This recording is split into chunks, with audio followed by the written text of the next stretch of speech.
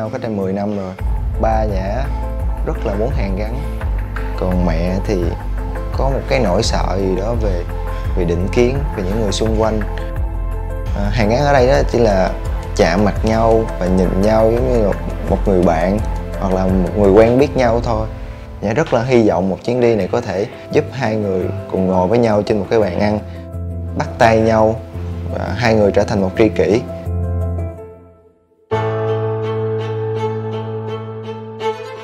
Là gia linh. Gia đình linh nó chưa bao giờ có một chuyến đi nào cùng nhau để đầy đủ các thành viên. Ngày trước á, thì ờ, nhà linh quá khổ. Mẹ linh thì phải nuôi hai đứa con là linh và anh trai của linh. Ba linh thì mất sớm. Sau này lớn lên rồi á thì mỗi người một nơi. Để mà sắp xếp một chuyến đi đối với gia đình linh là cực kỳ khó luôn thông qua một chuyến đi thì linh rất là hy vọng uh, anh của linh và linh có thể chia sẻ với mẹ nhiều hơn để, để mẹ bớt đi cái gánh lo. Gia đình linh á, sẽ có những cái khoảng thời gian bên cạnh nhau thật là ý nghĩa.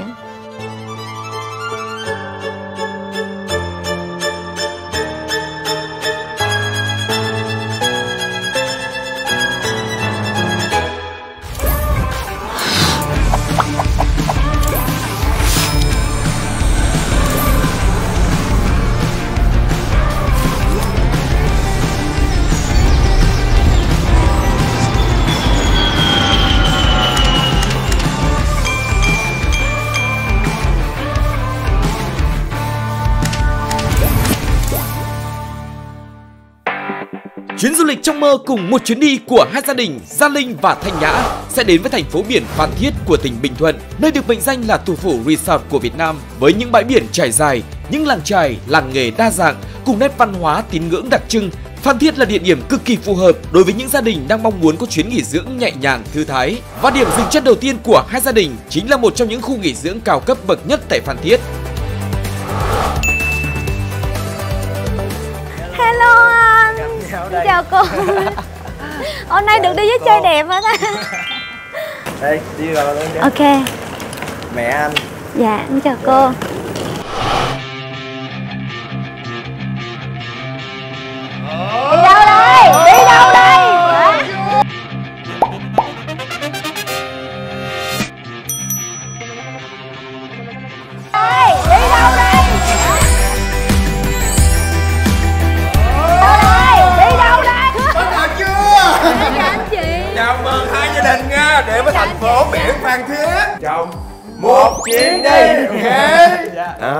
là tôi nghĩ là sẽ rất là vui. Tại vì à, anh em mình cũng biết nhau rồi Cho nên là chơi sẽ thoải mái hơn Trải nghiệm tốt hơn. Tụi con là đại sứ mộng mơ của chương trình này. Dạ, dắt gia đình đi à, trải nghiệm Rồi đi chơi.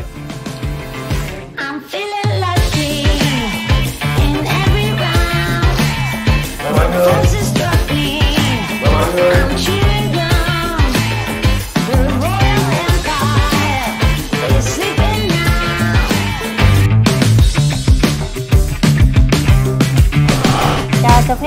hỏi tên hai, hai mẹ nha. Rồi chị mẹ Đây là mẹ liễu. Mẹ liễu. Liễu. Tên đẹp. Tên đẹp. Bé đẹp. Bé đẹp. Bé đẹp cô có mình nhã thôi hả? Nhã có chị nữa chị hai. Bên em. À, cô có um, hai đứa con anh của linh với lại uh, linh. Sao mày không đưa anh theo cưng? Dạ tại vì tính chất công việc của anh em á, thì ờ, làm trong quân đội. Ờ, cho nên thứ nhất là xa nhà thứ hai là cái um, thời gian nghỉ phép rất là ít Trời ơi, vậy nhớ con trai chết luôn á. Đúng không cô? mẹ nhớ lắm. mẹ muốn uh, có một dịp ba mẹ con đi du lịch một lần mà. Khó.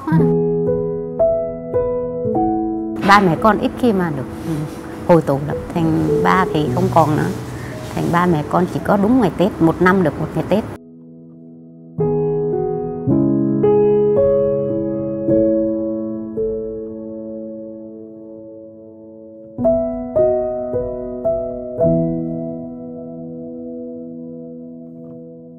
thôi cô còn còn may mắn còn có hai đứa con này đứa này kia còn con có một đứa này nè. Dạ. sao? Sao không rủ chị đi nữa? Ờ, chị em thì đang ở Nhật chị em có chồng ở đó rồi đi công việc ở đó luôn. Dạ, công tác ở đó luôn. Rồi chú cô Chú có bận đi làm hay sao? đi làm. Tại vì à, hai người này không chơi với nhau nữa nghỉ chơi với nhau rồi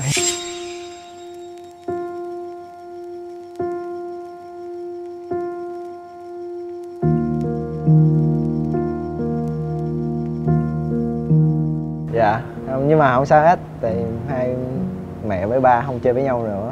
Thì à, nhưng mà em chơi được rồi em với mẹ xong em rồi chơi thân với hai ờ, người đó. đúng rồi. Đây là bé đẹp của Đúng em. rồi, còn đại ca kia ở chung với em. Ừ. Cái ca kia là hot boy của em đúng Dạ. không? Cho con hỏi nha Gia đình mình á, đi du lịch ở đâu rồi? gia đình cô thì hồi giờ chưa đi bao giờ. Chưa đi bao giờ? Chưa.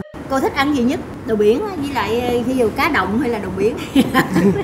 Hồi hồi ăn- tối hôm qua hồi tối hôm qua mới mới nói với em là trời ơi sao tự nhiên giờ mẹ nhìn mấy con tôm to to mẹ thèm dữ vậy ta?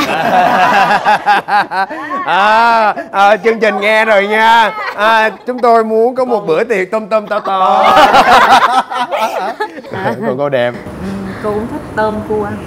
Rồi cô nha. nhưng mà ở đây thì không có cua nhưng mà ở đây có ghẹ. Đó ghẹ ngon hơn.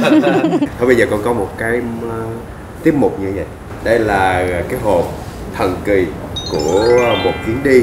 Chúng ta mong ước có những mong ước điều gì à, qua chuyến đi này á, thì chúng ta ghi vào đây. Để à, sau cái à, khi mình quay xong hết mình sẽ điểm lại là cái chuyến đi này á có như trong mơ của cô hay không ha? Rồi, anh rồi qua lấy bây giờ mà mình đi lên lấy phòng ekip đã train cho mình hết rồi. Dạ. giờ lên lấy phòng cảm nhận cái căn phòng của chúng ta như thế nào.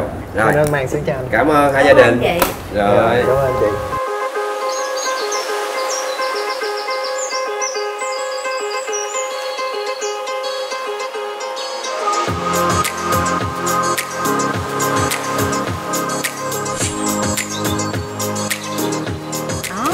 từ này không biết. Rồi rồi vô.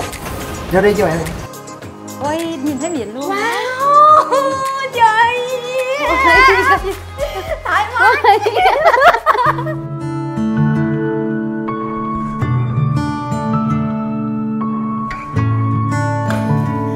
Mát mẻ quá ha. Đẹp có bồn bồn tắm nữa rồi. Ờ, tí thích bồn tắm nè có bồn tắm. Đúng rồi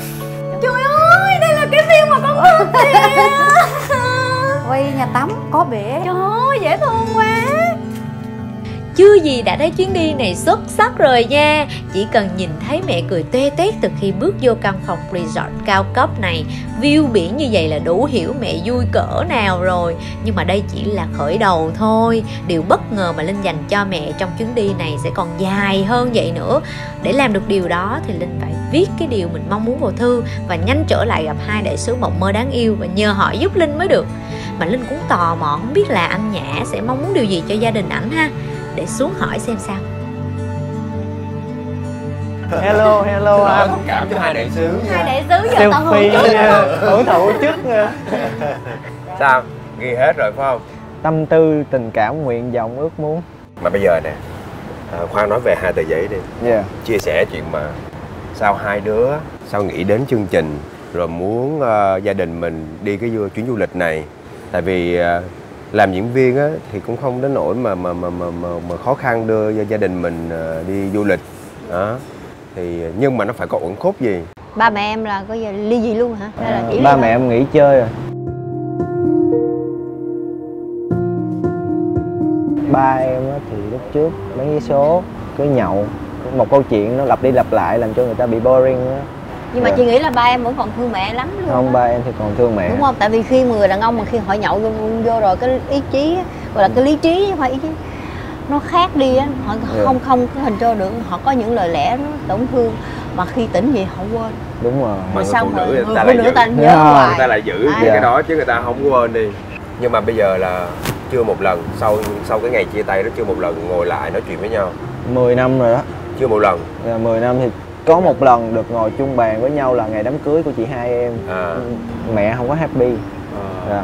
chương trình có hỏi em một câu là em có nhớ cái khoảnh khắc nào mà ba với mẹ hạnh phúc không? Ờ, em bị đứng hình anh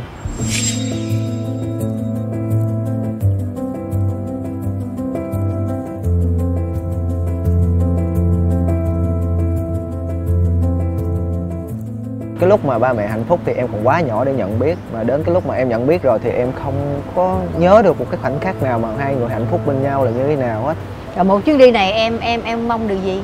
Em không mong là ba mẹ phải hàn gắn lại với nhau. Cái mà em mong muốn là hai người có thể ngồi ngồi cùng với nhau ăn cơm chung với nhau rồi chia sẻ em là một cái điểm chung của hai người là có thằng con như vậy. Không được như là người bạn đời thì cũng là một người tri kỷ thật ra á, có nhiều khi á người ta chưa có thử. Nhờ chương trình nhờ con trai của mình. Dạ. đó, mình thử nói chuyện với nhau thử một lần thoải mái với nhau.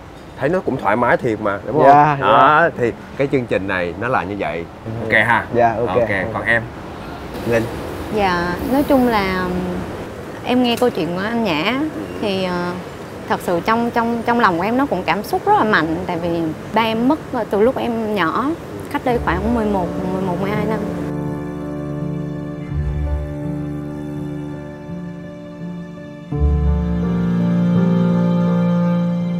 Thì để có cái chuyến đi này á giống như anh Nhã cũng nói và anh chị cũng hiểu là là diễn viên thì không không đến nỗi mà nghèo khổ tới cái mức mà một cái chuyến đi cho gia đình mình không lo được. Nhưng mà quan điểm của mẹ em ở đây là đó giờ đối với mẹ em là người ở dưới quê mẹ em cảm thấy là để bỏ một số tiền đó ra để đi du lịch á mẹ em cảm thấy rất là hoang phí. Ở hiện tại á em cũng chưa thật sự là thành công để mà mẹ có thể an tâm về em. Cho nên đôi lúc em muốn là mẹ ơi, kệ nó, mình tiêu một chút xíu cũng được, rồi con sẽ làm được.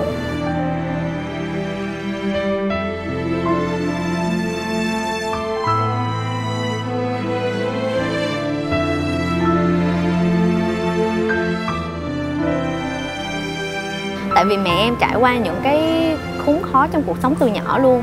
Rồi đến khi ba em bệnh, phải bán hết tất cả rẫy nương để mà lo cho ba xong sau này gặp sự cố anh em cũng có thời gian nằm viện và rất là nặng. Thì đối với mẹ em á tiền là thứ cứu sống gia đình cho nên mẹ em không bao giờ muốn hoang phí. Mẹ với anh nhớ nhau vậy á sao ờ, không kêu ờ, anh á làm cái nghề gì đó ở ngoài để có thể chạy đi chạy về. Trước khi vào quân ngũ anh em cũng không phải là ngoan đó là một trong những lý do mà mẹ em muốn anh em vào quân ngũ. Khi mà anh em vào quân ngũ rồi anh thay đổi rất nhiều và anh rất là tốt lên rất là nhiều. Và mẹ không muốn anh thay đổi nghề nghiệp. Mong muốn hiện tại của hai đứa qua chuyến đi này là điều gì? Điều đơn giản nhất đó là em mang được cái niềm vui tới cho mẹ với anh và tạo cho mẹ một cái bất ngờ. Tại vì tới bây giờ mẹ vẫn không có biết là anh em sẽ xuất hiện trong chương trình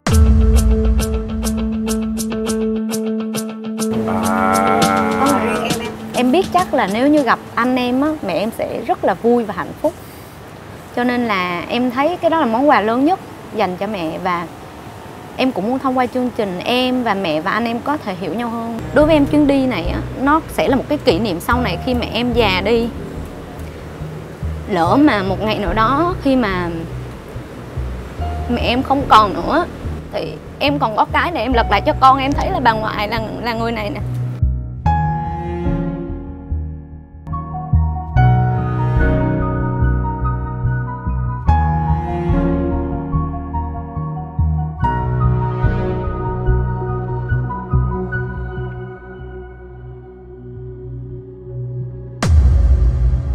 Cái hồi nãy mà bạn này nói á, thì là cái bất ngờ.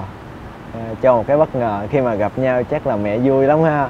Thì lúc đó em bị chậm một nhịp. Tại sao vậy? Em lo. Tại sao lo? Cái cái này là không phải là một cái món quà bất ngờ cho mẹ. Đối với mẹ thì nó không phải là món quà bất ngờ. Thì nó là đối với em nó mới là món quà. Còn đối với mẹ thì có thể có thể là một xíu trở ngại ở, ở thời gian đầu anh cố anh cố gắng anh sẽ ờ, dễ bị tổn thương. Để mẹ để mẹ thấy mẹ sẽ ngại ngại. Mẹ kìm lại. Ờ. em cũng hy vọng như vậy. Này chị cũng hy vọng thôi uống cái đi. Uống cái cho cái cái điều hy vọng của tụi mình. Ok thành hiện được. thì thời gian chuyến đi này nha. Dạ rồi. Cho anh à, xin phép thu hồi hai tờ giấy lời này lại. Rồi. Thôi cố gắng nha. Rồi. Cố gắng. cố gắng em. Một hai ba. Yeah vui chơi vui chơi.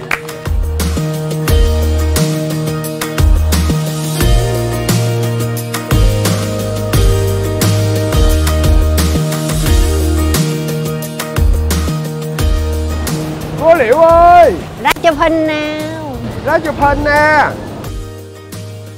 Biển đẹp quá nè cô ơi! Mẹ em đây rồi. Ra chụp hình nào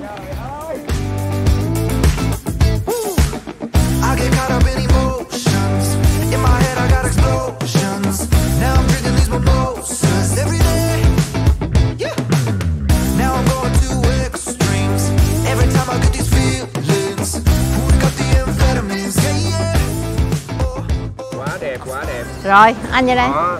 Bây giờ mình quay qua đây mình lấy cái cảnh resort này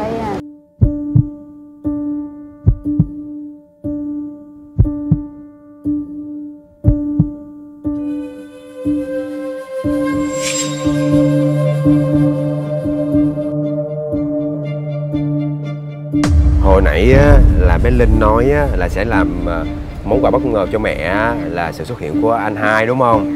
Thì bây giờ mình phải làm sao cho món quà nó thật đậm? Để tụi anh bày muôn cho nghe. Em biết chắc là nếu như gặp anh em á mẹ em sẽ rất là vui và hạnh phúc. Cho nên là em thấy cái đó là món quà lớn nhất dành cho mẹ em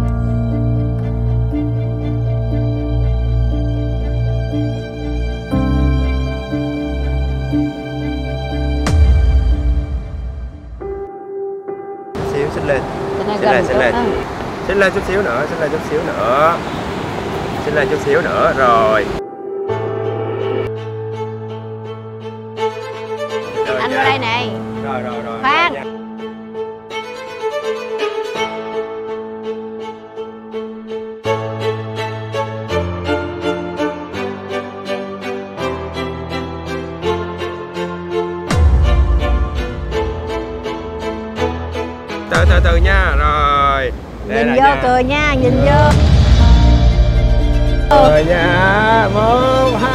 Hai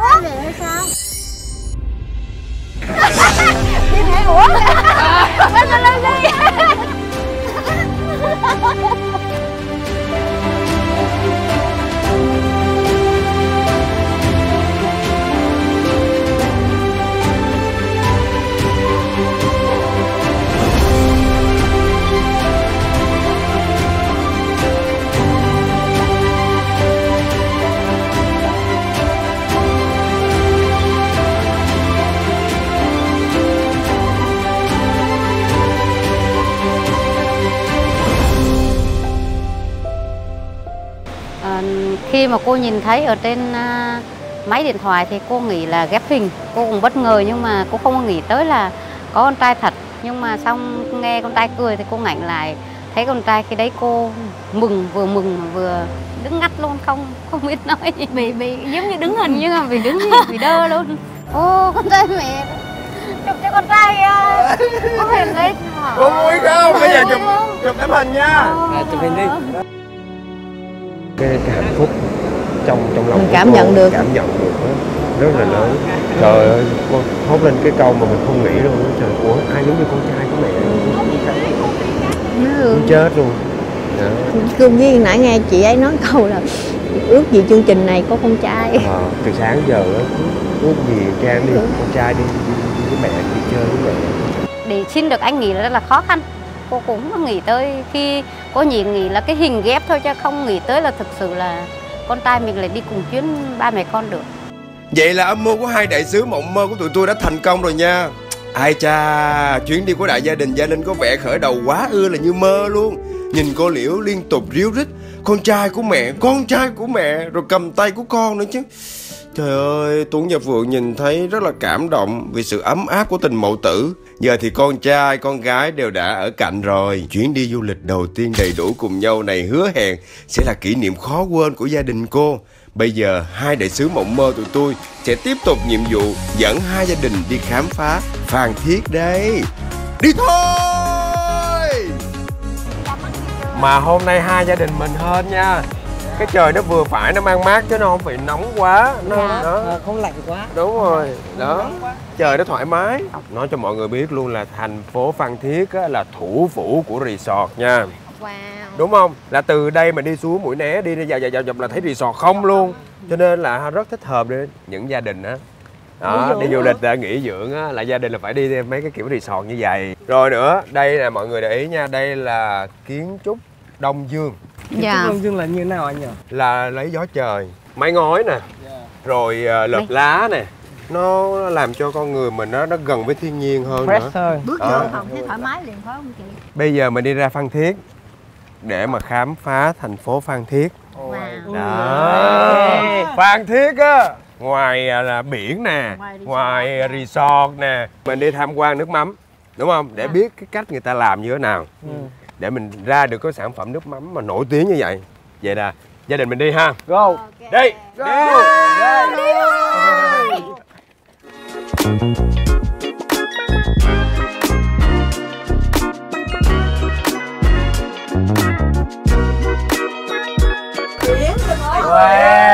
Đẹp quá. Nhìn đi. Trời ơi biển kìa. À biển đẹp Thấy quá chưa? Đẹp quá trời đẹp luôn. Mênh mông nha Đấy hai chị mẹ mà không nhận lời của hai đứa con thì là coi như là Hối tiếc hối tiếc. tiếc thấy chưa Thôi bà nói làm sao được ở, làm. ở cái khách sạn đẹp như vậy? Làm sao mà mở cửa ra mà thấy biển được? Làm sao mà ngồi trên xe đã như vậy được? Rồi ăn ngon nữa. Đó. Cho nên các con nói gì cũng nhận lời hết đi. Xin giới thiệu với mọi người đây là dòng xe limousine sang chảnh nhất của Việt Nam. Là Boeing đó mấy cái ghế này ghế gọi là ghế Boeing nha Bay đúng không? Có tivi nè anh. Có tivi. có đèn led luôn. Đây nè. Tivi nha. Tivi ngay trước mắt luôn. Đó thích không? Đó. Ủa giờ vậy nè sao cái ghế này nó ngã lên xíu được không? Được. Mình Đây, có đây, đây. nút bấm kìa nút bấm bên kia. Đó. Trời ơi nó ngã cái này lên á. Đưa cái này lên á. Đây đây đây đây đây đây nè nè có cái này đã lắm nè. Có massage luôn nha. Luôn có đá nóng luôn. Có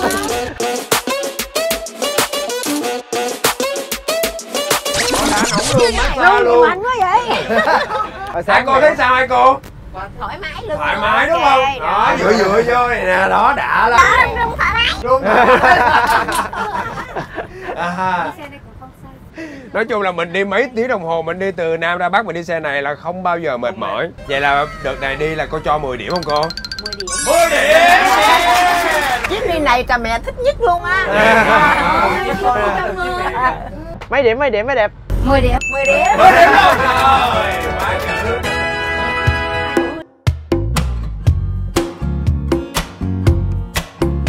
Đến Phan Thiết, đặc sản chứ danh nhất dĩ nhiên không đâu khác chính là nước mắm truyền thống. Tới thăm và tìm hiểu về nghề làm nước mắm cũng là hoạt động du lịch thú vị mà du khách nên thử trải nghiệm. Đồng thời sẵn đó mang về làm quà hay dùng trong gia đình cũng rất hay đó. Thành ra bây giờ tới là nghề nước mắm luôn bác Tài ơi!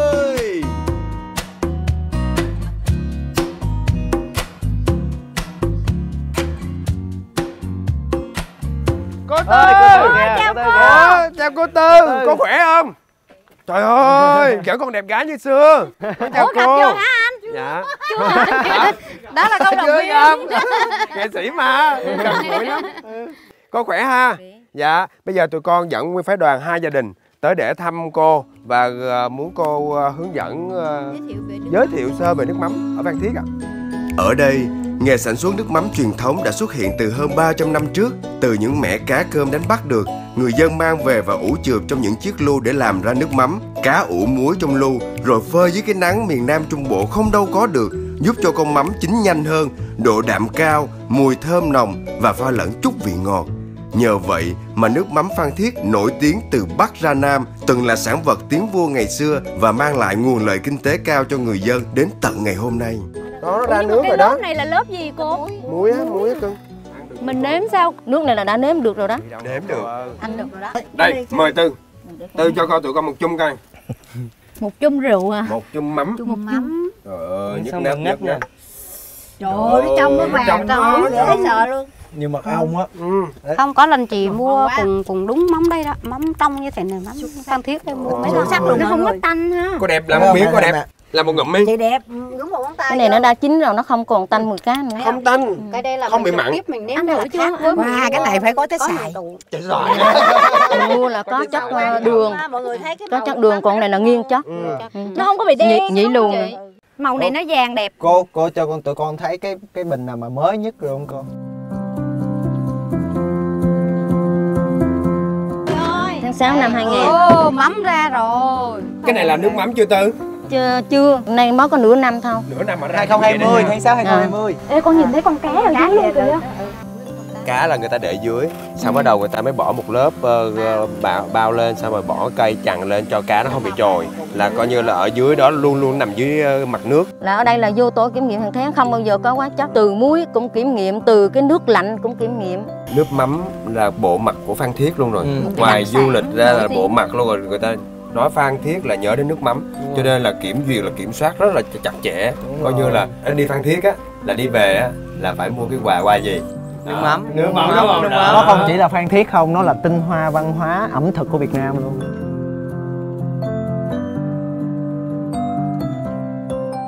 Rồi bây giờ kính thưa hai gia đình. Nghe giống như là đám cưới vậy. Bây giờ gia đình của chúng ta chơi một cái mini game để coi con có hiểu ý của mẹ hay không. Thử thách đoán ý mẹ tìm kho báu Logo một chuyến đi sẽ được dán bất kỳ trên 10 giấy lù nước mắm tại khu trung tâm. Nhiệm vụ của hai đội là phải tìm ra logo đặc biệt có ký tên của mẹ mình kèm gợi ý nơi chôn giấu chai nước mắm lú. Trong quá trình đó, nếu tìm được logo gây nhiễu bao gồm các thông tin và thử thách khác, các đội bắt buộc phải thực hiện. Mọi người ơi, mọi người ơi Mọi người đã tự tin muốn tìm hiểu ý mẹ mình chưa? Ready, ready. Ok chưa? Chơi ha. thiệt sao? Bên em bị thiệt không bây giờ về đi. Về anh qua đi. Đòi hỏi kìa. Anh qua Thôi, thì cho mắt Phượng qua thằng trai thì chắc chắn sẽ thắng bên đây rồi. Thơm Thôi chị Hôm qua em lú lắm nha nói chứ.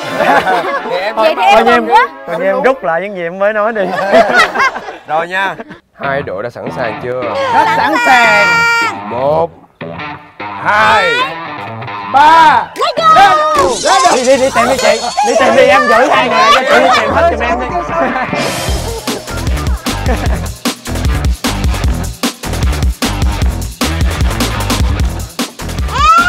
Em có một thư nè. Có khi nào trên đường đời tấp nập Ta vô tình đi lướt qua nhau Lướt rồi em ơi. Bỗng vấp đá té ngã thật đau Nhưng đừng cáu vì đã có tem biên tập yêu dấu. Trời Đây ơi. tôi xin thông báo Đó là những câu xàm xí của biên tập. Không có gì hết.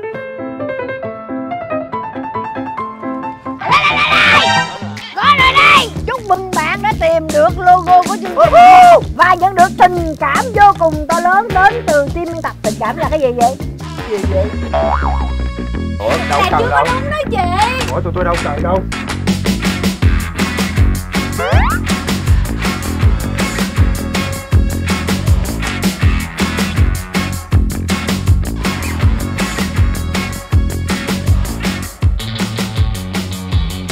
kêu dở nắp của em. Ôi em nghĩ bỏ là đây có nó được cái cái chữ mà quan trọng sẽ nằm trên nắp. Coi chừng nó nằm ở đây đó nha. Anh ơi tìm nhiệt tình lên anh ơi. Em em mình em mua đó. em. Anh ơi Qua đây qua đèo. Lại ngã lăn queo. Vào lòng biên tập cùng nhau đi ăn bánh xèo. Ủa vậy thôi à Trả lời câu hỏi nhanh trong 60 giây Màu sắc mẹ yêu thích là gì màu xanh. Không phải màu, màu, màu, màu hồng màu đỏ. Màu đỏ sai Chết rồi con xin lỗi mẹ nhiều lắm mẹ ơi. Món ăn mẹ mẹ mê. Mẹ thích ăn thịt gà với lại miếng. Màu vàng Chính xác. Câu mà mẹ hay chửi các bạn. Mẹ chửi nhiều quá sao nhá chữ nhiều quá. Chính xác là cái đồ bèm hem. Cái đồ bèm à hem. sao đáng yêu Rồi. vậy Sao em em là cái gì Rồi Cái đó là cái giống như là bí mật vậy á. Rồi à, Tài lẻ của mẹ Tài tài của mẹ là kiếm tiền á. Kiếm tiền. Kiếm tiền.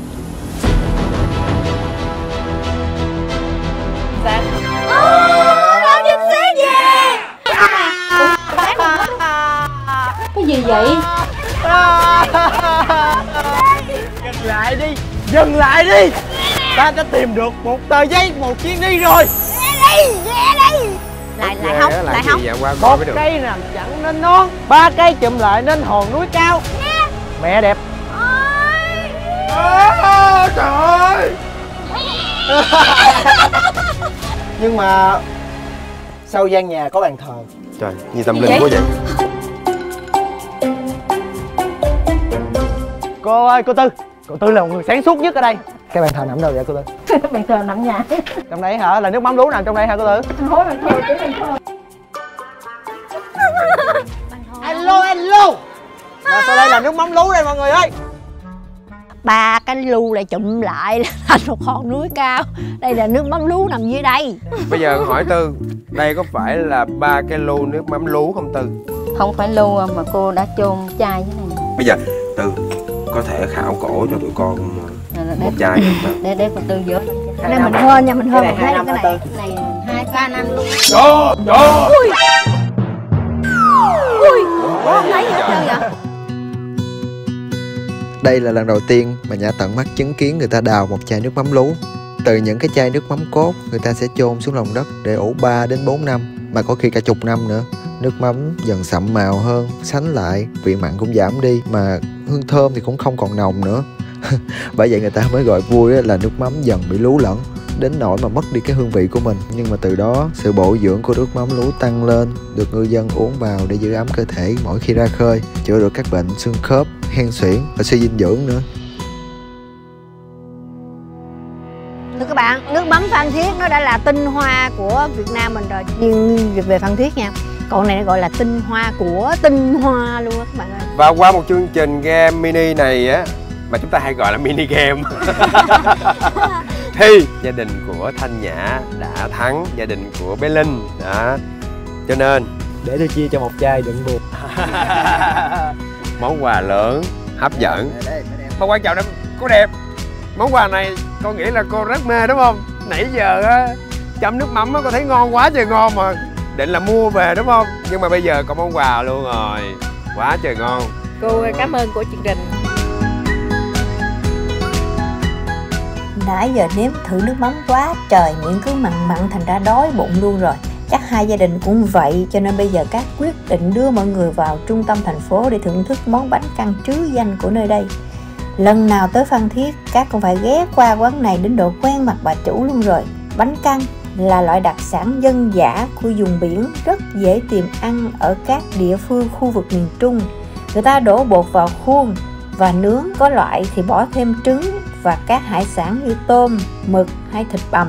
Một dĩa bánh căn ăn kèm với một tô nước chấm gồm xíu mại nè, da heo nè, xoài sống nè, trứng luộc nè, rồi kêu thêm một tô cá nục kho như vậy là u cha quá xá là đã luôn rồi.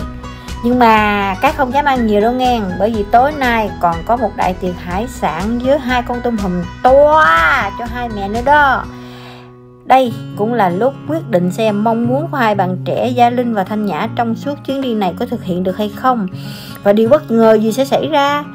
Cát và anh Kiều Minh Tuấn cũng hồi hộp quá đi nè.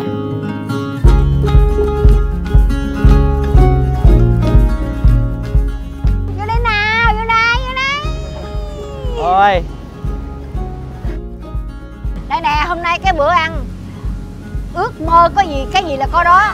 Ước mơ tôm có tôm đây là nha. cái con tôm toa toa. Và ngon quá. Tôm tôm toa. Tôm tôm toa tôm đấy toa đấy. Tôm toa chứ không phải là tôm nhỏ đâu nha.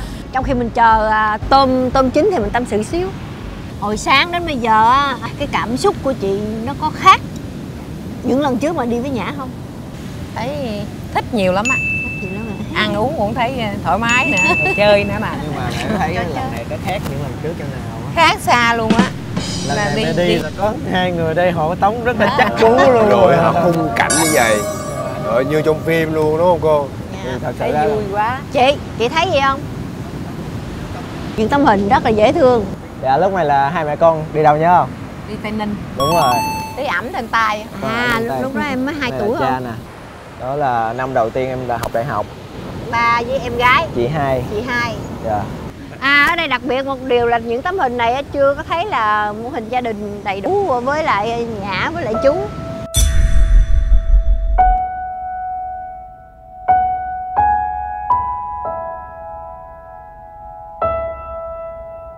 Nhưng mà riêng tấm hình này là chị thấy đủ đầy. Cái này là lúc nào à, hả hả, hả chị? đám cưới của bé chị hai của nhã Ừ, cái này đủ đầy hết. Bây giờ mình ngồi đây rồi mình nói chuyện như gia đình đi ha Chia sẻ như gia đình đi ha. Em nghĩ là chị có cũng có nhiều cái chuyện mà phụ nữ của mình nó khó nói ra Nè chị, bây giờ hả, cho em muốn hỏi là à, Cái tấm hình này là đám cưới của chị hai cưng đúng không? Thì chắc chắn là ba sẽ có mặt đúng không? Nhưng mà sau đó thì à, lý do gì mà nó nhã nói là bà mẹ hôm nay đi ăn cơm với ba đi cùng với ba là lý do gì mà chị không không có đồng ý á, kiểu vậy á thấy là những à, như là hai chồng không còn tình nghĩa đi không không còn tình nghĩa.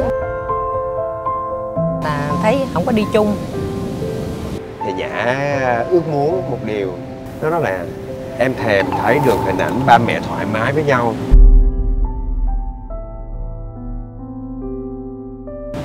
Cho dù em em không có mong muốn ba mẹ về tại bây giờ ai cũng lớn và ai cũng có có cuộc sống riêng. cuộc sống riêng rồi.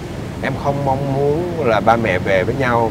Mong ước của em á là ba mẹ thoải mái với nhau chỉ cần một câu chào hỏi bình thường nói chung là hay là ừ, đôi Dạ. khi qua nhà ăn cơm hay gì đó Dạ, cái dạ. đó là cái gì chị không cái đó là cái tinh thần lớn nhất. Thậm chí em nói thậm chí nếu mà được á à, dượng sau á ví dụ như cũng đi chung luôn trời cái đó là cái rất hay. Hay lắm chị Đúng không? Tôi không còn là vợ chồng với anh nữa và vậy vậy nhưng mà đây là con của tôi. Vẫn mãi mãi là như vậy nhưng mà giữa tôi với anh nó lại như vậy rồi thì mình chỉ là tri kỷ mà nhã có thường nhã có thường à, nói chuyện với lại à, dượng không? Lúc đầu thì thật sự con với chị không có đồng tình thì chú mẹ cũng biết mà. Con với chị rất là gai gắt với chú nhưng mà từ khi mà mẹ nói cái câu là nếu mà mẹ ở nhà bệnh là thì tụi con đi làm xa thì con có về để kịp với mẹ hay không? Thì từ lúc đó thì con mới thay đổi cái suy nghĩ của mình đây chị thấy không mới dễ dàng với chú đấy chị thấy không cái nghĩa là con mình nó đã mở rồi thì mình cũng mở mở theo cái cách là ờ ba của con vậy ok mẹ vẫn là mở giống như là gặp chào hỏi ừ ông ăn cơm chưa? Hôm nay ông khỏe không? Rồi ông sao vậy vậy? Tại đó giờ làm như nó quen rồi chứ không phải là chị còn hận giận hay là cái gì nữa. không, không còn. Thấy không? Nhưng mà nó quen rồi.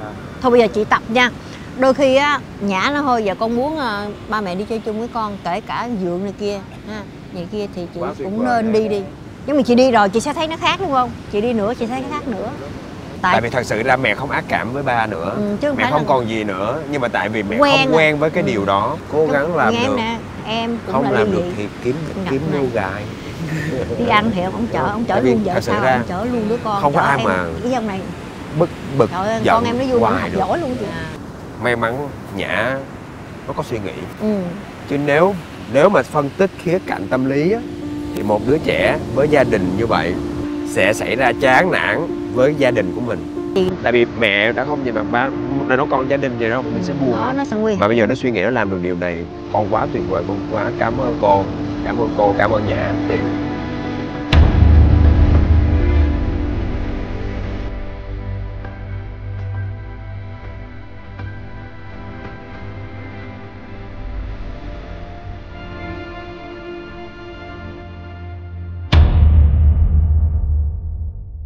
Vậy là giây phút hồi hộp, khó xử nhưng cũng đáng mong chờ nhất với Nhã đã đến. Mẹ của Nhã liệu có thể thay đổi quan điểm của mình hay sự căng thẳng giữa hai cô chú sẽ lại kéo dài? Hãy đón xem tập phát sóng tiếp theo vào lúc 20 giờ chủ nhật ngày 10 tháng 1 trên hai kênh YouTube yêu One Mừng và Việt Nam tươi đẹp